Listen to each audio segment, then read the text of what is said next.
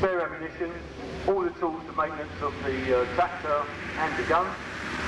Underneath they have a winch in case they get stuck in the mud so they can pull themselves out or pull the gun out of situation. And they have about uh, 30 gallons of fuel on board. They're not armoured, so uh, if people start shooting at you, it's better to leave the, the tractor behind. Behind is the two-wheel trailer, number 27, 32 complete rounds of ammunition, tool store, and other maintenance equipment, and then the gun behind. And I'll explain about the gun as, as they come onto the platforms. They're coming round now. Top speed about 30 miles an hour, convoy speed normally 25, and in rough terrain, four-wheel drive so they can get in and out of uh, very muddy or rocky situations or very slow climbs up hills.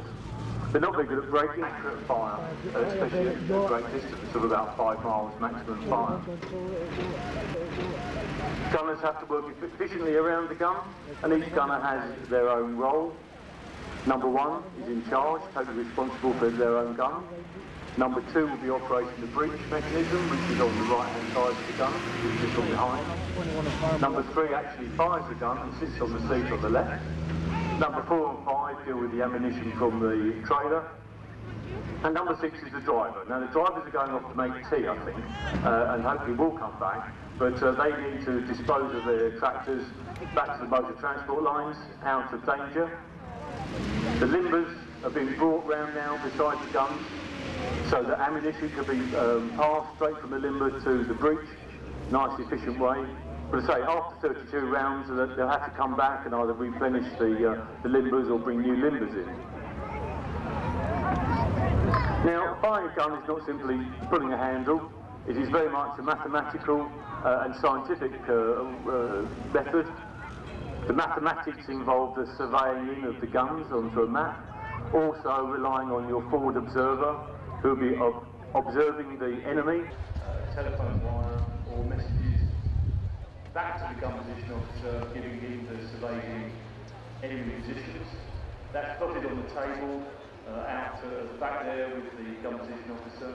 We'll be calling back the forward shot, too far, too, too short, too left, too right, and corrections will, will be made on the plotting table, and then the corrections back to the guns.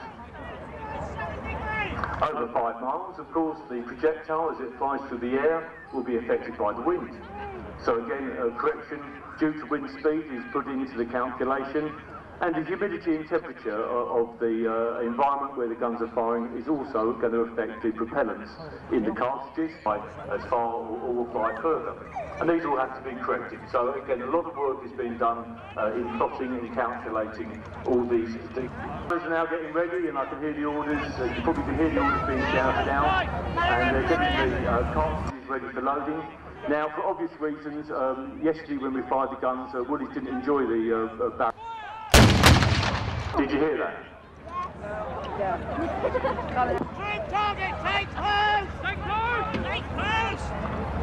the order for cease firing, I think, has been given. 18, 1, 1, 7, 1,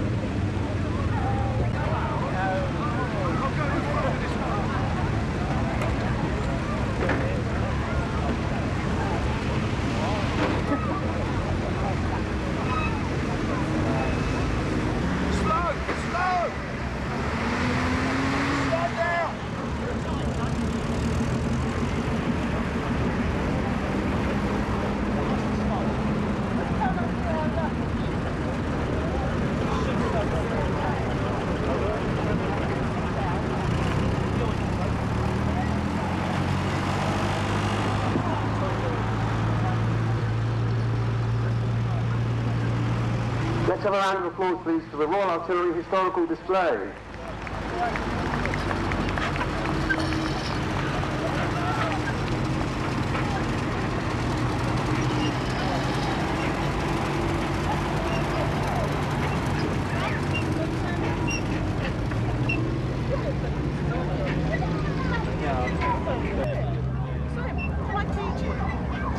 No.